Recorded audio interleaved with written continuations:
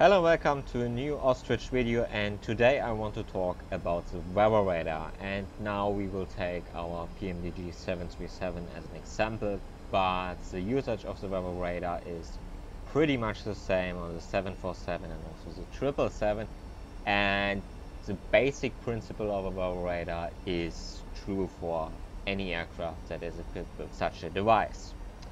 So the radar is usually situated in the nose of the aircraft as you can see on the 737-500 and it scans the air from left to right and back and it also can be tilted up and down as you need it.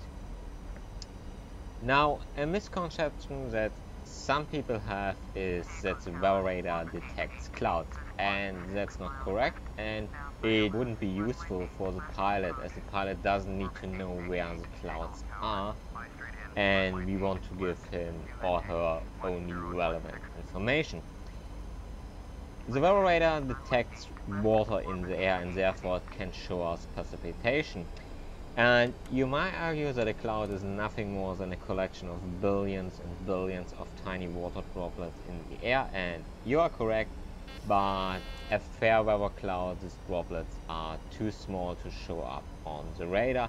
And so we see only the clouds with heavy precipitation in it like a thunderstorm for example. And these are the type of clouds we want to avoid. Now if we have a low density of water in the air like light rain or drizzle it shows up as green. If we have a higher density it shows up as yellow and if you have really heavy precipitations, really heavy droplets, like we would find in a thunderstorm for example, it would show up as red. But that doesn't necessarily mean that red means avoid these areas and green you are good to go. Water reflects the radar beams quite well and so the radar can detect rain.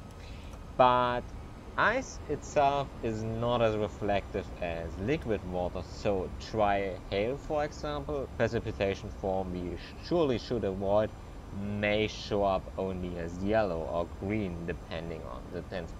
Also, if we are encountering a thunderstorm at cruise level on the radar, depending on the tilt of the radar itself, it may only scan the top of the thunderstorm cloud and in this altitude it is more as likely that the precipitation up so high is frozen and therefore doesn't reflect as good and therefore maybe show up as green or yellow.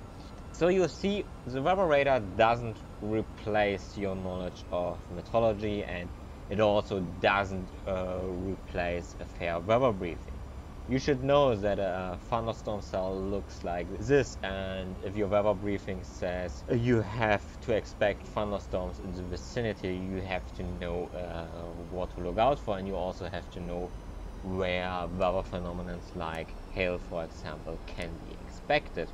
So you see you need all the three tools and this is really important because you can brief where thunderstorms. Are expected and that information is a forecast and forecasts are never completely accurate. And also if you're on the air this briefing is maybe two hours ago. So you only know that you have to expect thunderstorm cells but these cells are usually small and they move quite quickly. So you don't know exactly or where it is and therefore your weather radar comes in hand because then you can scan for it and find a way to fly around it and so it helps you to keep your situational awareness always on top. So now after the theory it's now a good question how to use this, which buttons we have and how we can use it. So let's join me on the flight deck and now we are on approach to take you see out of the window the weather isn't that nice.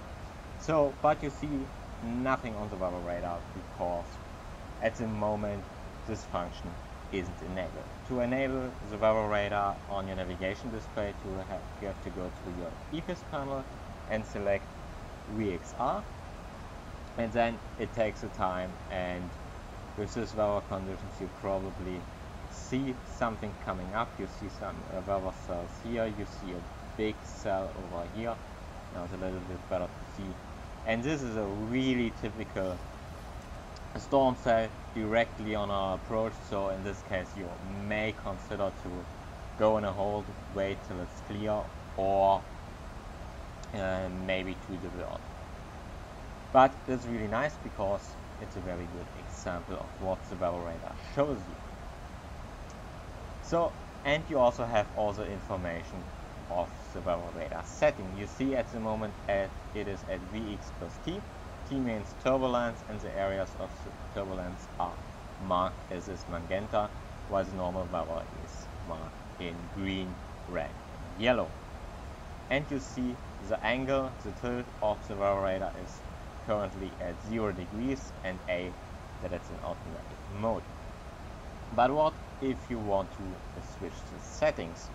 So the panel for the weather radar is in the center pedestal right in the center. Let's take a closer look. And you have basically a few buttons. Only you have a test function. You have the auto button was at the moment engaged. And then you have similar buttons on the top or on the corner. The one is for the captain side and the other one is for the first officer side. So at the moment we are on auto but we can disengage this and you see now it says M for menu. And if we want to inspect this cloud maybe higher up or lower down we now can change the angle uh, with this rate. For example 2 degrees down or 2 degrees up and you always have to wait a little bit. So that the radar has the option to refresh itself very nice we can set it to 0 again and then the other twist knob you have here is the gain. The gain is nothing more than the sensitivity of your display, so how much water gets displayed in which color. So if you pump it up, for example, you see now as it's refreshed, the weather radar shows a lot more information and as you mess uh, with this setting, it tells you therefore that you have variated this. So, now to the buttons you have.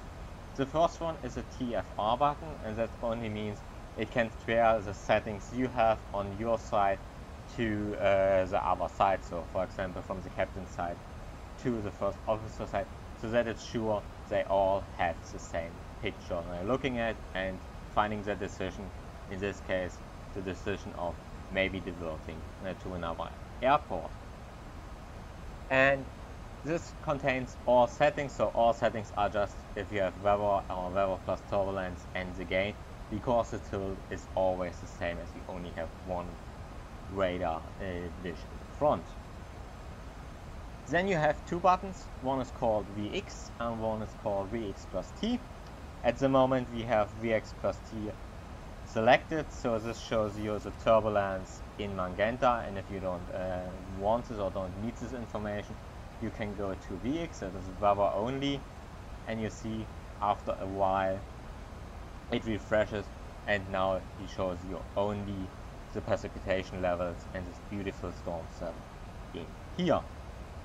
Now the other buttons we have, uh, the map function is there to overlay the weather information with the terrain information, what is not modeled in the simulation? And TG this is the decluttering. If you have the weather information and the terrain information overlaid and this isn't modeled as well.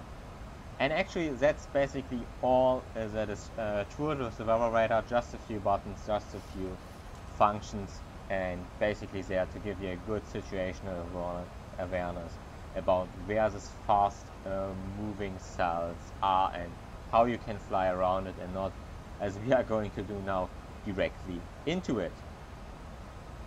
So let's have a look. And here you see the big thunderstorm cloud directly in front of us.